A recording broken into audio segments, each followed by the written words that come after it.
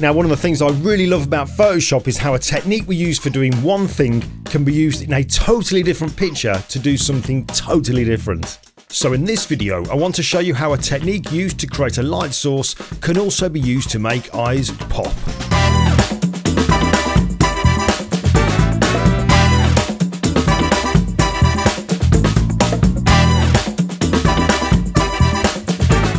Now, one of the techniques I used to love showing and still use to this day is something I call the never ending lighting rig. If you've never seen it, here's a quick reminder.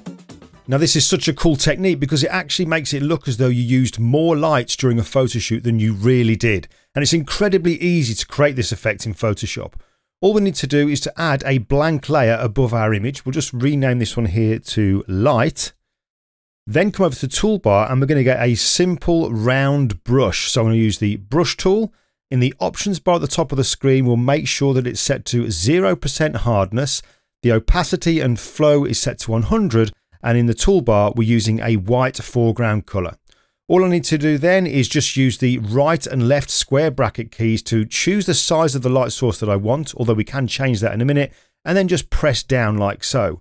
Now at the moment, when we use the move tool, it doesn't look like a light source. However, what we can do then is come over to the layers panel and change the blend mode for this light layer from normal to overlay. Now already you can see that we're starting to get some kind of a lighting effect on our picture just there. Now if that's not bright enough, obviously we can't go brighter than 100% opacity. But what we can do is just duplicate this. So I'm going to hold down the Command key on Mac, Control key on Windows and press J when I do that, we see we get a copy of that layer in the layer stack and the actual light now in the picture has brightened. What I'll do to make things easier is put these two layers into a group. So the uppermost layer is highlighted. I'll hold down the shift key so they're both highlighted, then go to the flyout menu in the top right hand corner of the layers panel and choose new group from layers and we'll call this one light.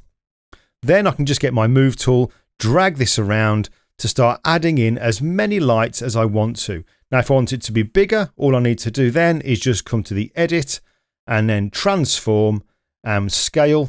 And we can just scale it by holding down the shift and option key or shift and alt key and dragging out the size of the light source that we want, pressing enter or return and then moving it around. And obviously we can duplicate this group to start adding in more lights wherever we want them to be. So that's the never ending lighting rig. But here's how we can adapt it to brighten the eyes, add fake catch lights, and really make the eyes stand out. This portrait here of my friend Mac was taken using a largest softbox positioned to the left and forward of him, and this gave a lovely lighting pattern with light on one side and shadow on the other. Now, although nicely lit, the eyes were lacking something. They were lacking punch, they needed more life. So here's what we can do. Now, just like with the never ending lighting rig, I'm going to first of all start off by adding a new blank layer above our image and I'll just call this one left and then we'll just zoom in and the eye I'm going to work on is over the left hand side of the picture just here but rather than me grabbing a brush I'm actually going to choose the elliptical marquee tool from the toolbar. Now when we first of all grab the elliptical marquee tool click down and drag it doesn't stay as a perfect circle. There's actually a couple of ways we can fix it so it does stay as a perfect circle and the first way is by simply holding down the shift key and you see that it'll snap into place there and then when I drag out or in it stays as a perfect circle. Now if you don't do that another way is by coming to the options bar at the top of the screen and where it says style we've got a choice of fixed ratio or fixed size. I'm going to choose fixed ratio and all I'm going to do now is click and drag I'm holding down no keys but you'll see that it's staying as a perfect circle. So now if I want to reposition that all I need to do is hold down the space bar and I can move it around to where I want it to be. And I'd want it to be on the eye, just around about, say, there. Let's just zoom in a little bit more. I'm now going to drag out another circle, but this time hold down the Option key on Mac or Alt key on Windows, because this one is now going to take away some of the original selection. So I'll click and drag down to get a circle.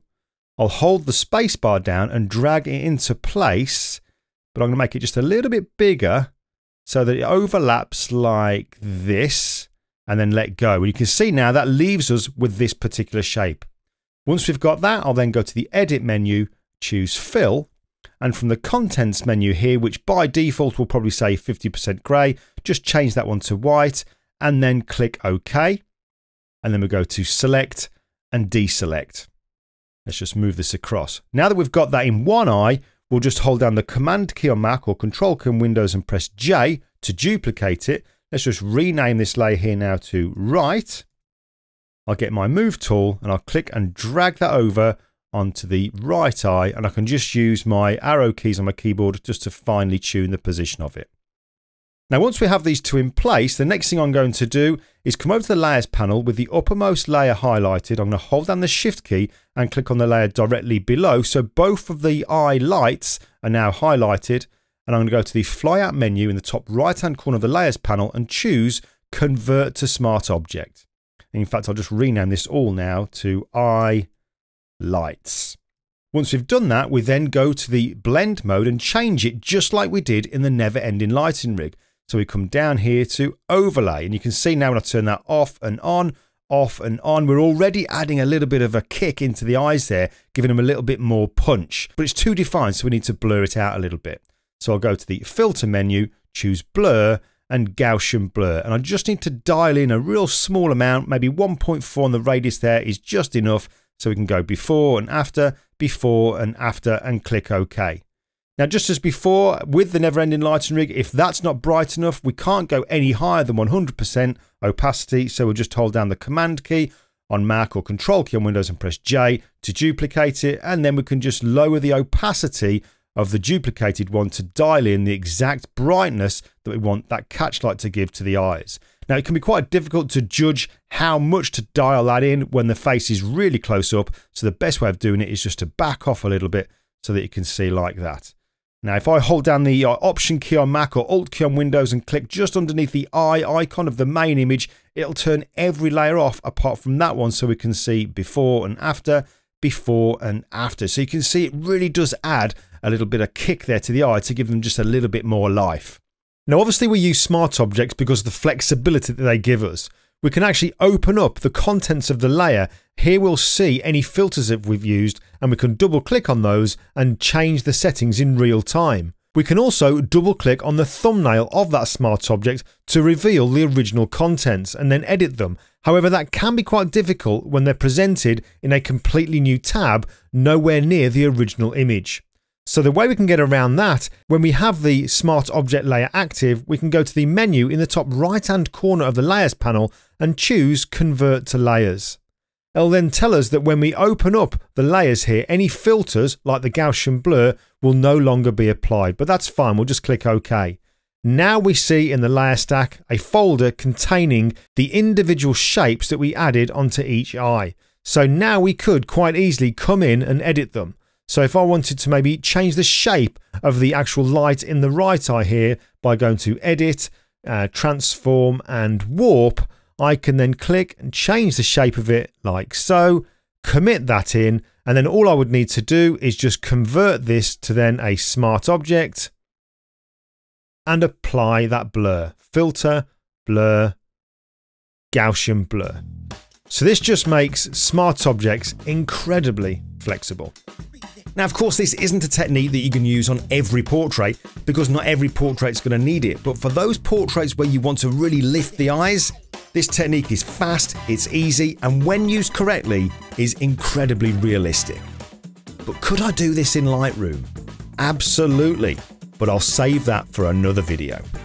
For now though, I'd really appreciate a thumbs up and if you haven't already, click on that subscribe button because it's just a great free way that you can support this channel and it's kind of like giving a virtual thanks.